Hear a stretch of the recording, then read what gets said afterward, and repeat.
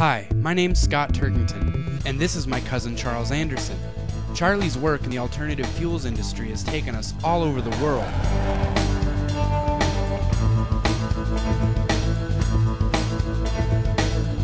With my camera in hand, we travel the globe searching for new technologies and locations to explore.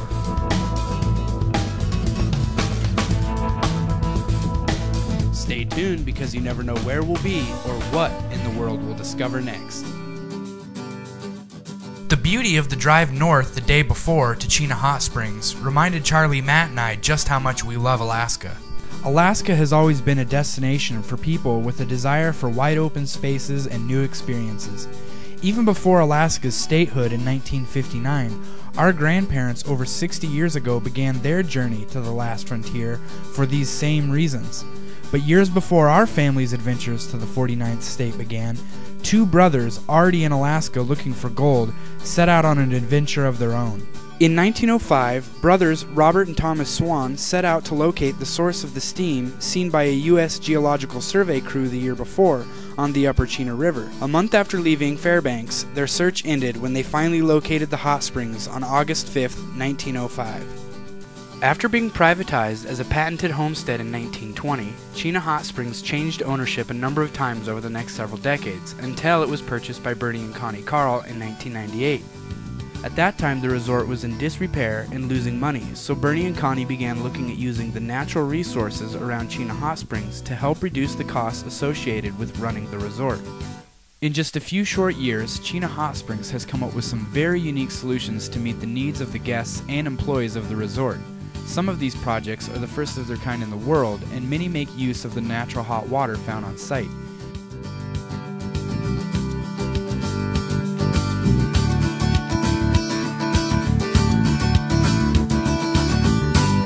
Here we are at the entrance of Chena Hot Springs Resort, one of Alaska's most unique places to visit. Not only are there hot springs that you can soak in, but the geothermal resources here play a vital role in the day-to-day -day life of the people that live here at Chena and the people that visit here. Whether it's the geothermally heated greenhouses where the restaurant gets its produce, or the heat that you have for your hotel room, or the electricity that you're using, everything is generated by the geothermal resources here. So Gwen's going to take us on a personal tour and we're going to learn a little bit more about what goes on here at Chena Hot Springs. Come on and let's take a look.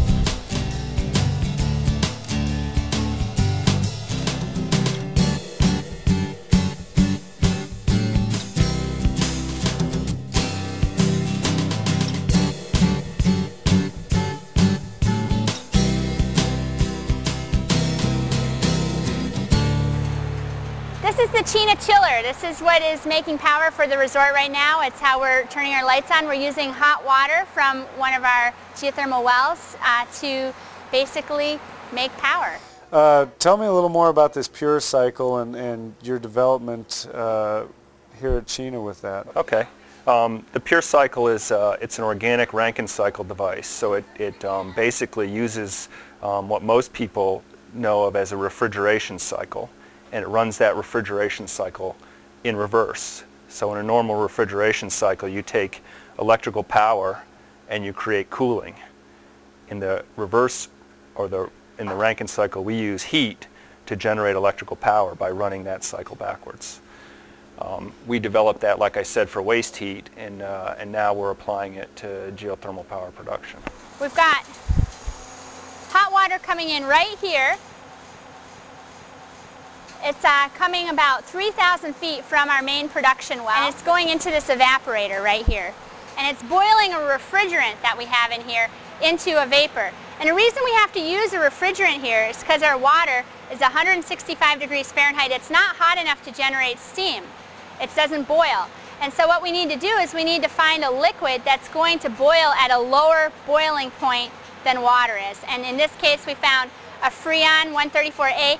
It's a very common refrigerant. It's what you use in your, in your car air conditioning system or in your home. It's pretty environmentally safe and we're, that's what we're using for this system. So this refrigerant is boiled into a vapor here in this, in this evaporator with hot water coming in from the geothermal well. The vapor goes up through this tube here, this pipe, over to the turbine. It spins the turbine blades, which then turns the generator, and that's what generates our power. And one of the big advantages we have here is we've got a really great cold water resource. We're in Alaska, we're not out in a desert in Nevada or something like that. We've got nice cold water here. We're getting it from a well that's a, about 2,000 feet away from here. We're bringing it down here in a pipeline and it's coming into this condenser unit right here. Once this refrigerant vapor goes through this turbine, it comes into the condenser and it recondenses back into a liquid. After that, it runs through this pump right here this blue pump right next to the unit, right below it, and it's pumped back over to the evaporator and it starts to cycle over again. The other thing that we have here is we've got the hot water reinjection system. We've got the hot water, it's coming in through this top pipe right here. It's running through the evaporator side like I showed you earlier, and then it's coming back through this pipe here, this lower one, and this is the reinjection portion of the system. Reinjection is super critical to any kind of a geothermal power plant. It's the one variable that we really have control over. And so that's what we're looking at really closely right now. The geothermal generator project at Chena Hot Springs Resort was nothing short of astounding. They're producing enough 100% green electricity to power their entire resort. This is no small accomplishment considering before bringing the geothermal generator online, they were spending hundreds of thousands of dollars a year powering the resort with very loud diesel generators.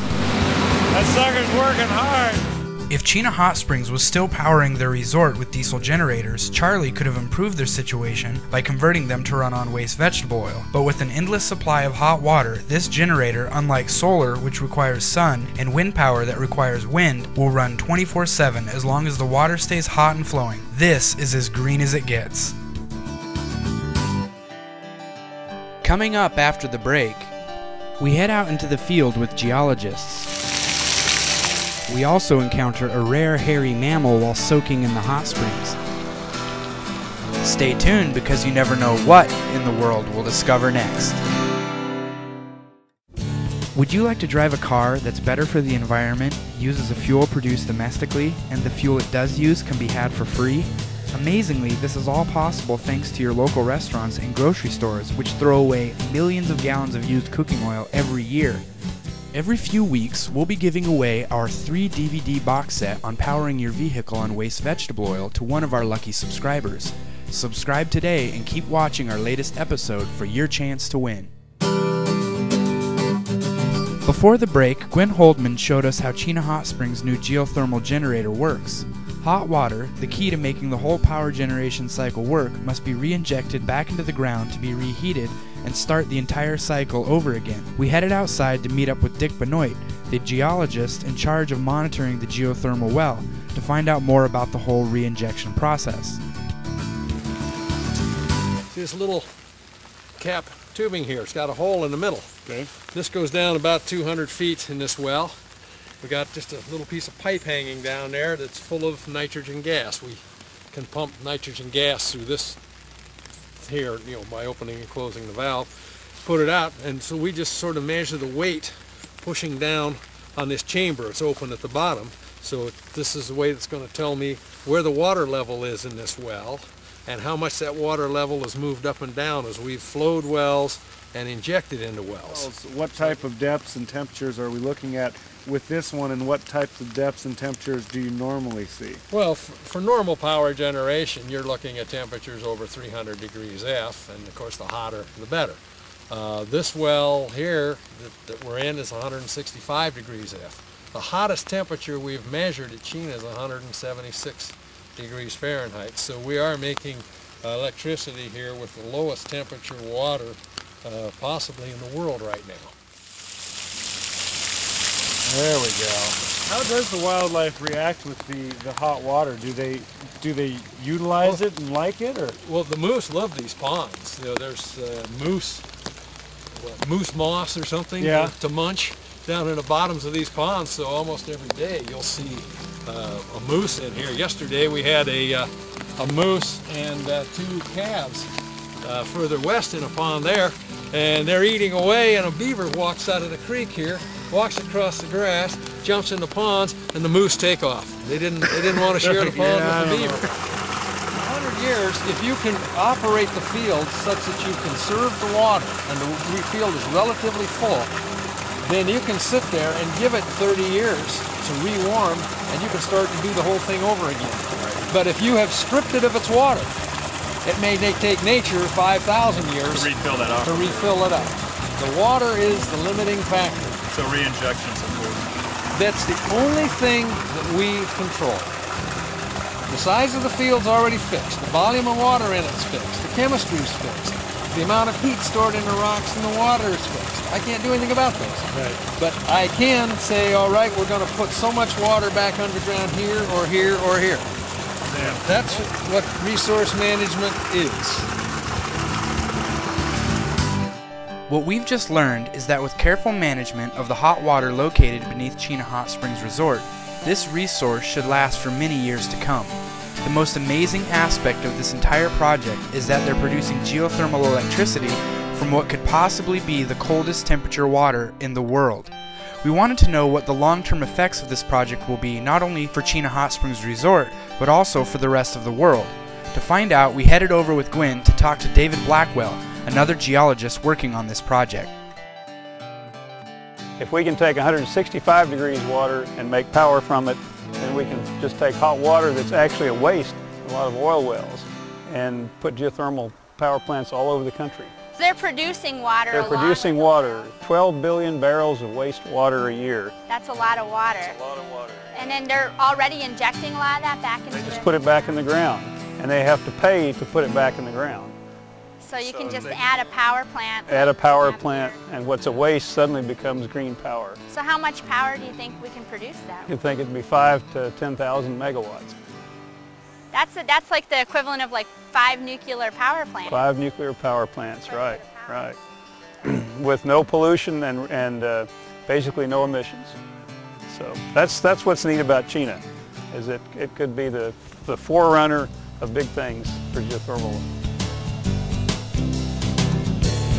Our first day at Chena had been very productive, but it was getting late. Even though there's so much more to discover at the resort, we needed to switch gears and work on the other project that had brought us here. We had been invited to Chena to not only document the grand unveiling of the geothermal power plant at their first annual Alternative Energy Fair tomorrow, but also to convert Gwen's diesel Jeep Liberty to run on waste vegetable oil. Before pulling an all-nighter to get the conversion finished by tomorrow afternoon, there was one thing we had been dying to do since we first knew about our trip to this amazing, one-of-a-kind destination, soak in the hot springs. Spa cam. Fuck him. I just got more water up my nose. Things want to rock the beach myself. Yes.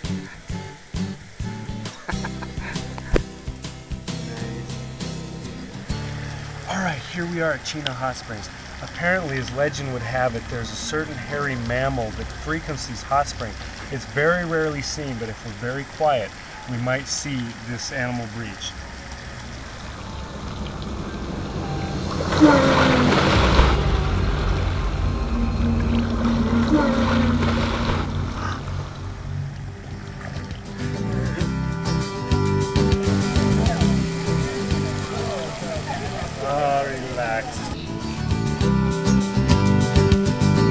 To get out of the hot springs and get to work on Gwen's vehicle. The energy fair was tomorrow, and her rig has to be running on veggie by then.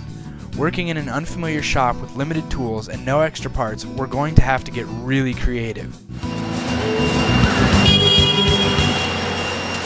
I've seen Charlie pull off some pretty challenging installs before, but we're both having our doubts this one will be done in time. I don't want to do this. Gwen, are you nervous? Am I nervous? Yeah. No, this is kind of cool to watch the master at work here, you oh, know? Oh, On next week's episode of What in the World, will we get Gwen's diesel Jeep Liberty converted to run on waste vegetable oil in time for the grand unveiling of the geothermal generator? Up in Fairbanks without all your tools.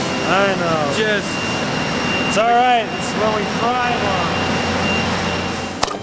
Oh. Geez, turn it off, turn it off, turn it off. We also speak with owner Bernie Karl, Senator Ted Stevens, and Governor Frank Murkowski. We also take a look at two more green projects a greenhouse which can grow food even in the dead of winter, and an ice palace cooled below freezing even in the heat of summer. So stay tuned because you never know what in the world we'll discover next.